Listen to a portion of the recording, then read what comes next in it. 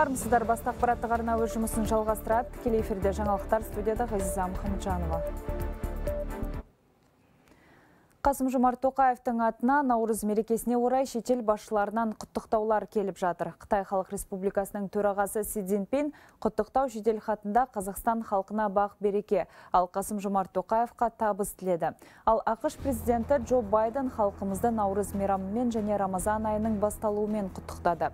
Президентке жолдаған хатында ол Қазақстанның жарқын болашағын және елде тең құқықтар мен мүмкіндіктерді қамтамасыз ететін сіздің саяси және экономикалық реформаларыңызды Америка құрама штаттары әрдайым қолдайтынын растаймын деп атап өткен. Қазақстан Қытай шекарасында орналасқан Нұр жолы бекетінің өткізу қабілеті соңғы аптада едәуір өсті. Мәселен, кеше Қытайдан елге 680-нен аса жүк көлігі кірді.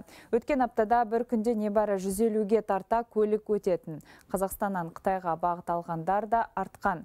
Шекарадағы кезек 300-ден 70 көлікке дейін азайды. Бұл мәліметті үкіметте өткен кеңесте мәлім болды қазір отандық тасымалдаушылардың басым бөлігі Қытай визасын күтіп отыр. Осыған байланысты премьер-министр сыртқы істер министрлігінің көмегімен бұл процесті жеделдетуді және бекеттегі электрондық кезекті қайта қарап оңтайландыруды тапсырды. Орталық сайлау комиссиясының дауыс бердің алдын дауыс берудің алдын ала қорытындысын жариялады. Сайлау учаскелерінен келген нәтижелер бойынша мәжіліске алты партия өтті. Аманат партиясын сайлаушылардың 53 бүтін оннан тоғыз пайызы таңдады. Ал ауыл халықтық демократиялық патриоттық партиясы 10 бүтін оннан тоғыз пайыз. Республика партиясына электораттың 8 бүтін жүзден елу тоғыз пайызы сенім білдірсе, Қазақстан халық партиясы 6 бүтін оннан сегіз пайыз. Байтақ жасылдар партиясы 2 бүтін оннан үш пайызға ие болды. Ақ жол Қазақстанның демократиялық партиясы 8 бүтін жүзден 41 пайыз, жалпы ұлттық социал-демократиялық демократиялық партиясы 5 бүтін 120 пайыз дауыс алды. Бәріне қарсымын деген бағанды 3 бүтін оннан 9 пайыз сайлаушы таңдады. Сондай ақ сайлауға мажоритарлық жүйемен қатысқан кандидаттардың да алдын ала нәтижелері белгілі болды. Толық ақпаратты орталық сайлау комиссиясының ресми сайтынан көруге болады.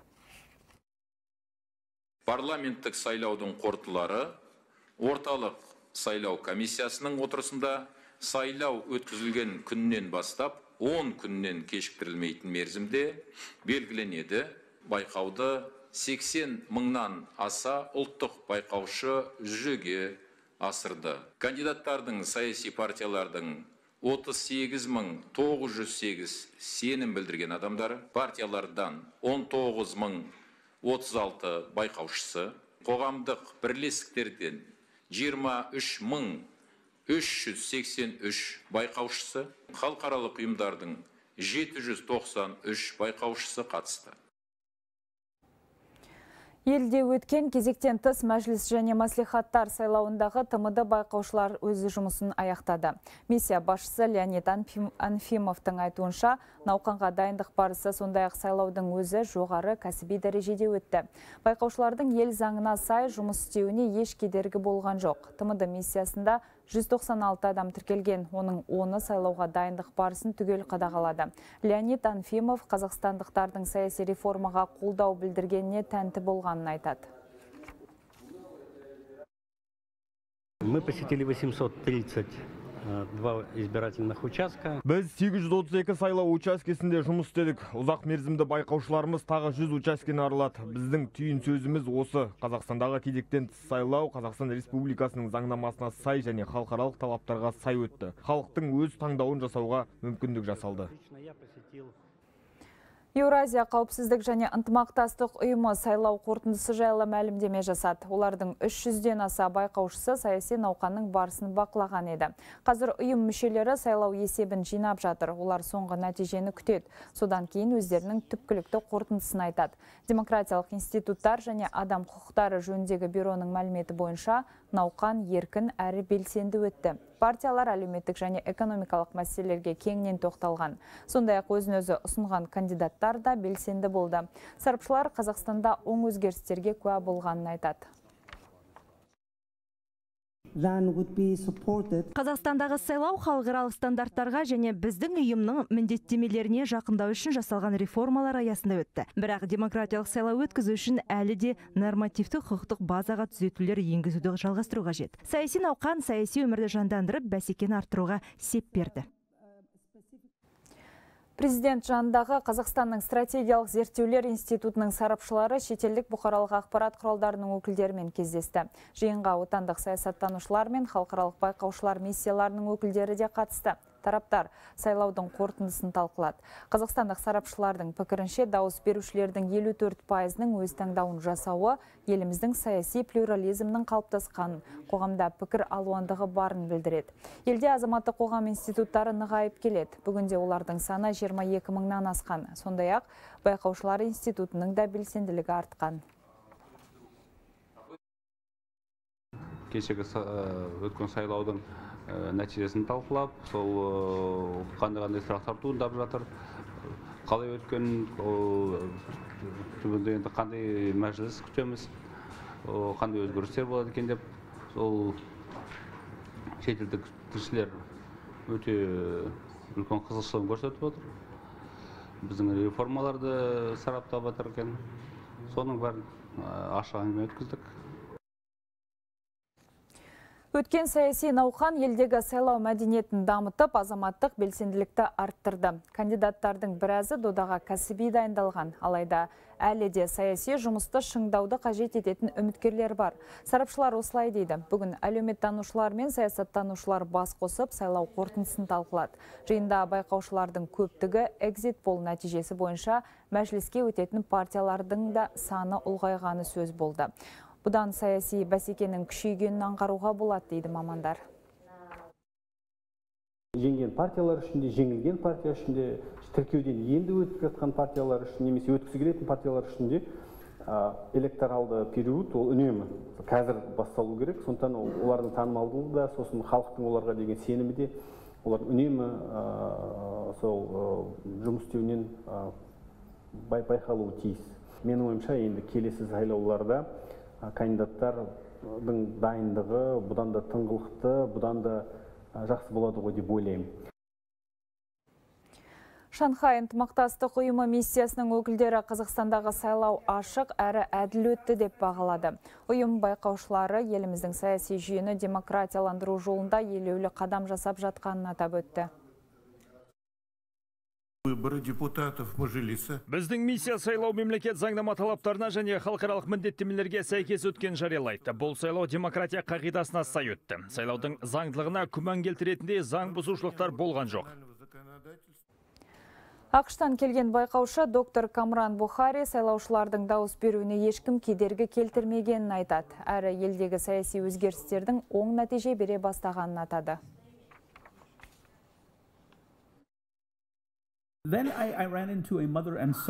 Дауыс беруге келгендерге ешқандай қысым көрсетілген жоқ. Бәрі ашық түрде жүргізілді. Сайлауда алғаш рет қатысып жатқан жаңа партияларға мүмкіндік жасалды. Жалпы Қазақстан қазіргі күрделі геосаяси кезеңде өзінің бастамаларын сәтті жүзеге асырып жатқан ел екенін айтуымыз керек. Парламент мәжілісі депутаттығына кандидат Бақытжан Базарбек үгіт насихат кезінде 5 мыңнан астам сайлаушылармен кездесті. Бұл туралы ол бүгін Алматыда өткен баспасөз маслихатында мәлімдеді. Базарбек мегаполистегі 5-ші бір мандатты сайлау округінен додаға түсті. Кандидаттың сайлау алды бағдарламасы тұрғын үй құрылысының проблемалық мәселелерін шешуге сондай ақ жеке меншікке заңсыз берілген жерлерді мемлекет меншігіне қайтаруға негізделген. Бақытжан базарбек жер қатынастары бойынша кәсіби заңгер. Оның заңсыз құрылысқа қатысты бірнеше істері сотта нәтижелі аяқталды. Біз заңгерміз. Кәсіби заңгерміз. Біз оның шешу жолын білеміз. Ол тек қана сәулет қала құрылыс құрылыс туралы заңның нормаларына жер кодексінің нормаларына тиісті өзгерістерді енгізу. Сол өзгерістерді енгізе отырып біз мынау заңсыз құрылысты алдын ала аламыз. Парламент мәжілісінің депутаттығына кандидат Ерлан Стамбеков өзіне сенім білдірген сайлаушыларға алғыс айтты. Алматыда баспасөз жиынын ұйымдастырған үміткер, егер жеңіске жетіп жатса, үгіт насихат кезінде айтылған бастамаларын орындауға бар күшін салатынын жеткізді. Ерлан Стамбековтың айтуынша тәуелсіз байқаушылар берген мәлімет бойынша оған 15-16 мың адам дауыс берген. Үміткер Алматыдағы экологиялық және денсаулық сақтау саласындағы проблемаларын шешіп, қаланың дамуына бар күшін салатынын жеткізді. Ерлан Стамбеков саяси додаға Алматыдағы төртінші бір мандатты сайлау округінен қатысты. К сожалению, Алмата өкінішке қарай алматы тұрғындары сайлау кезінде белсенділік таныта қойған жоқ. Дауыс берушілердің үлесі 25-30 пайыз болатынын да білдік. Тіпті үгіт насихат кезінде кездесуге екі адам келген сәтте болды. Дегенмен өзімнің сайлауалды бағдарламамды толық түсіндіріп тұрғындарды сайлаудан тыс қалмауға шақырдым. Біздің елде өткен сайлауға өзге елдер де көз тігіп отырды. Түркияның жергілікті бұқаралық ақпарат құралдары экзит пол нәтижелерін жарыса, жариялады. Саяси сарапшы Якуб Өміроғлының айтуынша кез келген сайлау демократияның негізгі нышаны. Қазақстанда соңғы жылдары саяси реформалар жасалды. Бұл билік пен халықтың арасын жақындатып, ашық қоғам құруға негіз болмақ. Қазақстанда сайлаулардың тыныс өтті Қазақстанда сайлаудың тыныш жоғары демократия қағидаттарына сай өткеніне қуандық. Көп партияның үгіт насихат жұмыстарын жүргізіп, оң нәтиже көрсеткені орында және парламентте бірнеше партияның төбе көрсетуі мүмкін. Бұл қоғамның ашық, таңдау мүмкіндігінің жоғары болуының айғағы. Ал Черногория президентін сайлай алмай жатыр. Халық ел басшысын сайлаудың екінші кезеңінде анықтайтын болды. Бірінші кезеңінде жеңіске жету үшін кандидаттар 50 пайыздан астам дауыс жинау керек еді. Бірақ үміткерлердің ешқайсысы бұл межеден аса алмаған. Қазір бюллетендердің 90 пайызы саналды. Соның нәтижесіне қарағанда қазіргі президент Мило Джуковичке сайлаушылардың 35,3 пайызы дауыс берген. Ал Яков Милатович 29,1 пайыз дауыс жинаған. Кешегі турдың қорытындысы осы. Екіншісі екінші сәуірде жоспарланған. Кения астанасында айғай сүрен көбейді. Найробидің қақ ортасына жиналған мыңдаған адам үкіметтің отставкаға кетуін талап етті. Халық резеңке доңғалақтарды өртеп, полицейлерге тас лақтырды. Тәртіп сақшылары да қарап қалған жоқ. Жұртты тарату үшін көз жасаурататын газ бен суатқыштар қолданды. Жергілікті бақ өкілдерінің хабарлауынша, бөлік кезінде бір адам оққа ұшқан бірнешеуі қамалды. Халықаралық валюта қоры Шри-Ланкаға қаржылай көмек береді. Келісім жасалып, аралды елге 2,9 миллиард доллар бөлінетін болды. Бұл соңғы жылдары дағдарыстан көз ашпаған мемлекеттің экономикасын қалпына келтіруге жұмсалады. Шри-Ланка пандемиядан қатты зиян шегіп, ұлттық ақшасы құнсызданды. Валюта қоры 70 пайызға азайған. Салдарынан шетелден тауар импорттау әлеуеті төмендеп, елді дағдарыс жайлаған. Миллиондаған өлі балық жағаға шығып қалды. Бұл Австрияның жаңа оңтүстік Уэльс штатында болған жағдай. Тақауда өңірде су басып, су тасып күн ас ысыған. Балықтың қырылуы осыған байланысты болуы мүмкін дейді сарапшылар. Өйткені күн райының қолайсыздығынан суда оттегі деңгейі күрт төмендеген. Мән жайды анықтау үшін жедел штаб құрылды. Ел жаңалықтары. Қостанай облысының оңтүстік өңірінде қардың көбесі сөгіліп, су жүре бастады. Ал солтүстік аумақ әлі қатып жатыр. Арқалық маңындағы Сарытоғай, Жангелден ауданындағы Торғай, Сарыөзен, Қабырға және Амангелді аумағындағы жалдама мен қараторғай өзендері мұздан тазарған. Әзірге тек Сарыторғайдағыны арнаны арнасынан асып су тасу қаупі бар. Бұл көршілес Ұлытаудағы терең жыралар мен жылғалардағы қалың қардың еруіне байланысты дейді синоптиктер. Жалпы облыста наурыз айының соңында күн күрт жылынады деген болжам бар. Сол себепті өзендердің деңгейі бақыланып, мұз көшкінін қауіпсіз өткізу басты назарда. Қазір құтқарушылар алты аудандағы өзендердің қауіпті 15 аумағында мұз жаруға кірісіп кетті.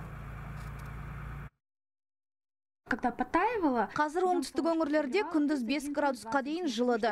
өзендердегі мұз тәулік сайын 1-2 сантиметрге еріп жатыр. Ал солтүстікте мұз сәуірдің бас кезінде ери бастайды. өңірдегі жалпы жағдай тұрақты. Тасқыннан қауіп төніп тұрған елді мекендер жоқ. Елдің жеті өңіріне су басу қаупі төніп тұр. Солтүстікте жауын шашын күшейеді, кей өңірлерде күн күрт жылуы мүмкін. Су тасқынының алдын алуға 35 мыңнан астам маман мен 11 мыңға жуық техника жұмылдырылды. Оқыс оқиға туындаған жағдайда зардап шеккен халықты шұғыл эвакуациялау үшін тікұшақтар дайын. Одан бөлек азаматтық қорғаныстың әскери бөлімдері де сақадай сай отыр. Төтенше жағдайларды және жергілікті атқарушы органдардың қызметкерлерінің ұсыныстарын орындау үшін керек орындау керек. Үй аймағынан аймағын қардан уақытылы тазарту инертті материалдарды және қаптарды дайындау жергілікті атқарушы органдардан эвакуациялау пункттерді және оларды баратын жолдарды білу үйлердің жанындағы орналасқан арықтарды және су өткізу құбырларын тазарту керек. Су қоймаларының қасында балаларды қараусыз қалтыруға болмайды. Әсіресе мұз өтетін уақытта. Ақтөбе облысында су басқан ауылдардағы шығын көлемі есептеліп жатыр. Арнаулы комиссия қазір тасқыннан зиян шеккен үйлер мен қора қопсыны қарап жүр. Қаншалықты бүлінгенін нақты зерттейді. Кейін көмек болады. Бұған дейін ойыл және қобда аудандарының бірнеше ауылына су кіргені белгілі. Қазір тасқынның беті қайтқан тек қобда елді мекенінде 101 үйді су алған. Арасында қираған баспаналар бар. Ал тұрғындар әзірге туыстары мен эвакуациялық орталықтарда тұрып жатыр. Зардап шеккендерге ақтөбелік еріктілер де көмектесуде. Жомарт жандардан жиналған киім кешек, төсек орын және азық түліктің алғашқы легін бірнеше көлікке тиеп жеткізген. Жәрдем берушілердің қатары әлі де сиреген жоқ. Көмек облыс орталығында жиналып жатыр. Конечно, мы сразу же отреагировали, объявили народу, что мы поможем. Ауылдықтардың басына түскен жағдайды естігенде көмектесетінімізді айтып жария еттік. Нәтижесінде көп адам көрпе төсек, кілем, киімдер әкеп тапсырды. Бір тәулікке жетер жетпес уақыт ішінде алғашқы гуманитарлық көмекті жинап үлгердік. Қолдау білдірушілердің қатары әлі де бар. Көп ұзамай елді мекендердің жағдайы түзелер деп сенеміз.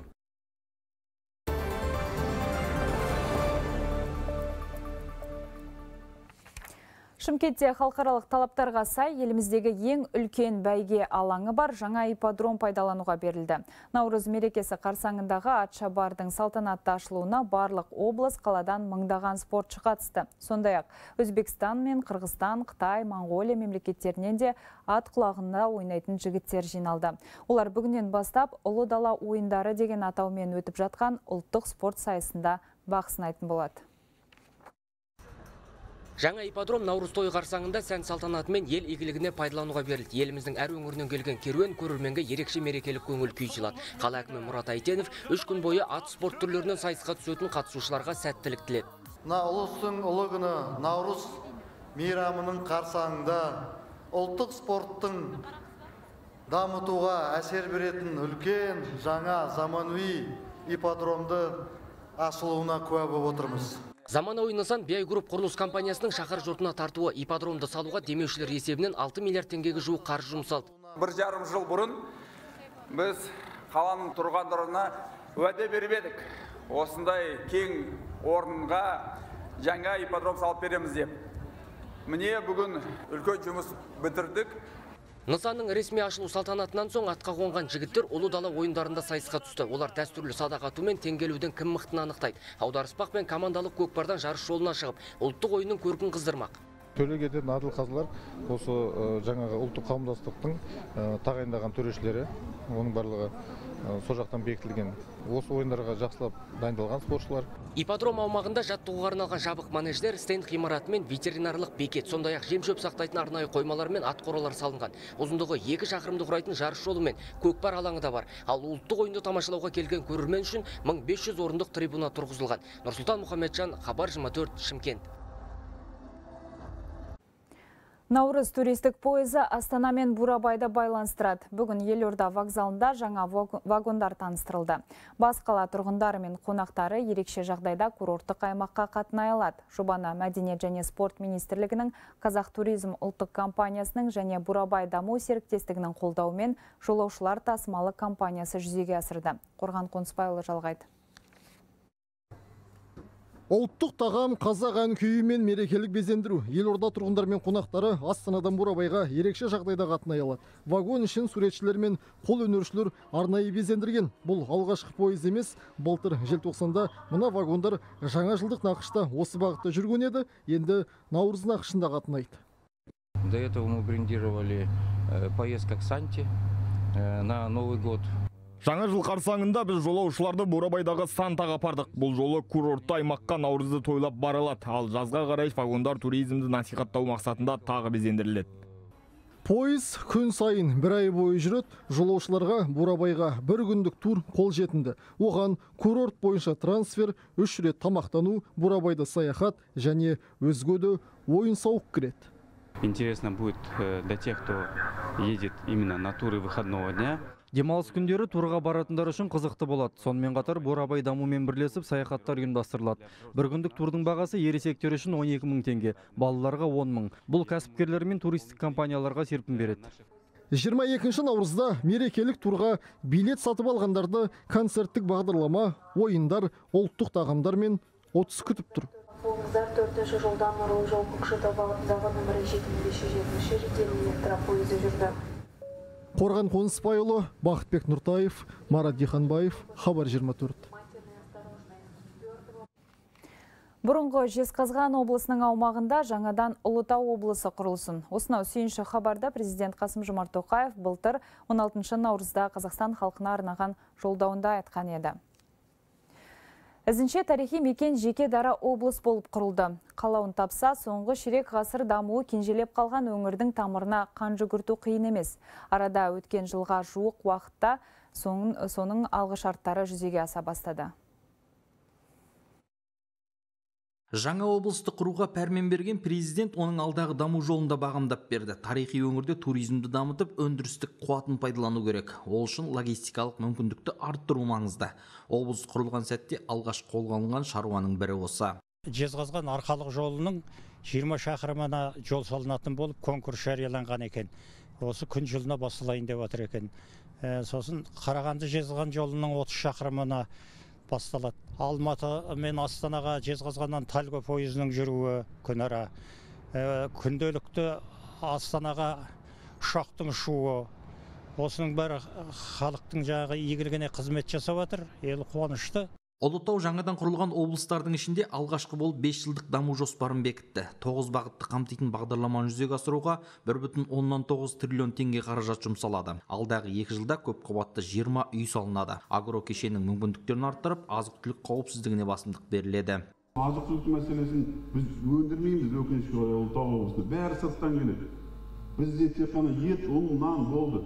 Басқа ештеңе жоқ қазір енді бәрін осы алдағы екі жылда осының бәрін қалпына келтіріп осы он тоғыз маңызды азық түліктің түрін он үшін өңірімізде өңдейміз деп жүз мыңға жуық тұрғыны бар жезқазған жұрты ауыз судың елу пайызын ашық су қоймасынан ішіп отыр. Алпыс шақырым жердегі үйтас айдос жерасты қорынан су айдайтын құбырдың тозығы жеткен. Өңірге жасаған сапары барысында бұл жайында президент тапсырма берген еді. Қазақстан республикасы президентінің тапсырмасы бойынша және жезқазған қаласының тұрғындарын сапалы ауыз сумен қамтамасыз ету мақсатында үйтас айдос жерасты суларын құбырларын қайта жаңғырту модернизациялау жобасы жүзеге асырылып жатыр. Бұл жоба төрт этаптан тұрады. Су құбырын ауыстыру жұмыстары басталды. Оның нормативтік мерзімі атқару мерзімі 18 ай. Оның енді аяқталу мерзімі болжаммен 20 осы жылдың аяғы 24 жылдың басы болып келеді. Аймақта кадр тапшылығы бар. Білім іздеген жастар үлкен қалаларға кетіп сонда тұрақтап қалады. Сондықтан биыл жезқазғанда мемлекеттік техникалық университет ашылады. Базасы мен педагогтық құрамы дайын. Бірінші қыркүйекте студенттер қабылдауға әзір. Қуаныштымыз дәл осылай. Өзіміздің қаламызда өзіміздің жерімізде ашылып жатқанына облысымызда басқа қалаға қатынамай басқа алыс жаққа жол жүрмей ата анамыздан бөлек кетпей өз қаламызда өзіміздің үйіміздің жанында болған дәл қазір қырдағы елді қынжылтатыны қызылордамен жалғайтын жолдың жайы. Бұл да биыл шешімін табуы мүмкін. Өткен жылы бөлінген қаржы аздық еткендіктен тиісті министрлік жобаға түзетулер енгізіп жатыр. Сәтімен жүзеге асса ұлытаудың ірі логистикалық орталыққа айналатын күні алыс емес. Елдос кәкенов нұрбол үздікбаев гүлшахира серікбаева хабар 24 ұлытау облысы. Наурыз мерекесі қарсаңында Қызылордада мамандандырылған жаңа мектеп лицей интернат ашылды. 150 орындық білім ұясының пән сыныптары заманауи үлгіде жабдықталған. Мұнда оқушылар 7 сыныптан бастап арнайы білім деңгейін саралайтын емтихан арқылы қабылданады. Балалар түске дейін мектеп бағдарламасы аясында білім алса, қалған уақытта математика, ағылшын тілі пәндерін тереңдетіп оқиды. Әр ай сайын оқушылардан сынақ алынып, білім деңгейі анықталады. Мұндай мектепті сәуір айында Қармақша ауданынан да ашу жоспарланған. Жалпы жыл соңына дейін өңірде 6 жаңа білім ұясы пайдалануға беріледі, дейді мамандар. биылғы жылы облысымызда жайлы мектеп ұлттық жобасына сәйкес 10 мектептің құрылысы басталады жалпы үш жылда 21 мектеп пайдалануға беріледі деп жоспарланып отыр тиісті қазір қаржылар бөлінген соның есесіне мынау үш ауысымға қаупі бар мектептер толық жойылатын болады және апаттық жағдайдағы мектептер бар соның орнына да осы жайлы мектеп жобасы бойынша орта мектептер салынады Маңғыстау өңіріндегі киелі мекеннің бірі Сұлтан Өпі қорымында тазалық акциясы өтті. Дәстүрлі шараға жүзден аса ерікті қатысты. Жалпы аумағы 3 гектар жерден жиналған күл қоқыс полиэтилен қапшыққа салынып полигонға тасылды. Тұрмыстық қалдықтан тазаланған қасиетті орынға елу төп жеміс ағашы көшеті егілді. Аталған қорым Түпқараған ауданына қарасты Форт Шевченко елді мекеніне жақын жерде орналасқан. Жартастан ойылған жер асты мешіті мемлекет қорғауында тарихи орынға туристер жиі барады. Смотритель Султан Өпе попросил нас посадить. Сұлтан Өпе қорымының шырақшысы бізге өрік ағашын егуімізді өтінді. Біз оған қоса шие анар тұқымдарын ала келдік. Киелі орынға әсіресе жаз айлары адам көп келеді. Өкінішке орай көпшілігі демалыс орнын шашып кетеді. Шымкенттіктер ұлыстың ұлы күнін этно ауылда тойлап жатыр. Ұлттық нақыштағы шағын ауылда ұлттық ойындар мен түрлі іс-шаралар ұйымдастырылған. Күн бұлтты болса да қазақи ауылға келгендердің көңіл күйі көтеріңкі 200 күйіз үй тігілген этно ауыл наурыз мерекесіне арналып салынған болатын. Фестивальде ұлттық нақыштағы көрме қойылып, қолөнерден түрлі шеберлік сағаттары өткізілуде. Сонымен қатар еліміздің 20 аймағынан келген қазақ үйлерде сол өңірдің тарихи мәдени құндылықтарынан сыр шертеді. Солардың бірі Қызылорда облысының жылжымалы музейі. Мұнда сыр елінің мың жарымға жуық экспонаттары қойылған кезіндегі сақ дәуірінің алтын бұйымдары және 19 ғасырдың аяғы мен 20 ғасырдың басында сыр қазақтарының сыр әйелдерінің тұтынған күміс әшекей бұйымдары. Осы бүгінгі этнофестивальға келген қонақтар назарына ұсынылып отыр. Қобыз аспаптары және домбыра аспаптарының түр түрлері осы көрмеде халық назарына ұсынылып отыр. Фестивальде ұлттық тағам түрлерін дайындаушылар арасында сайыс өткізілуде. Сонымен қатар күрес, асық ату, тазы жарыстыру, садақ ату сынды ұлттық ойындар өтуде. Қазақ бауырдыш еліме үлкен үлкен рахмет. Мұндай жарыстар екі елдің ынтымағын бекемдейді. Мұнан тысқарыда көптеген адамдар келді, басқа өлкелерден келді. Ким жақсы дайындық қылса, ким аракет қылса, о адам жеңеді. Қазақ ауылда 2,5 мың литр көже дайындалып, келушілерге үлестірілді арнайы демалыс алып осы бүгінгі күні келдік. Мына қазақ үйді аралап жүрміз. Жаңа жерде қазақ күресінен жарысы өтіп жатыр. Өте керемет өте қуаныштымыз. Бізде қазір кезде басқа ұлттардан да келіп жатыр ғой. Соған байланысты біз өзіміз волонтерлар арасында оларға өзіміздің қазақи нақыштағы киімімізді қандай әдемі екенін біздің шымкенттен басталып қандай екенін көрсету үшін осылай киім киюді шештік. Жалпы шараға 20 мыңға жуық халық қатысады деп күтілуде айта кетерлігі Шымкенттегі наурыз мерекесі үш күнге жоспарланған. Мерей Баят Бақчан Бапаев, Руслан Ахатіллә, Хабар 24. Әзірге айтарымыз осы амандықтар жүздескенше сау болыңыздар.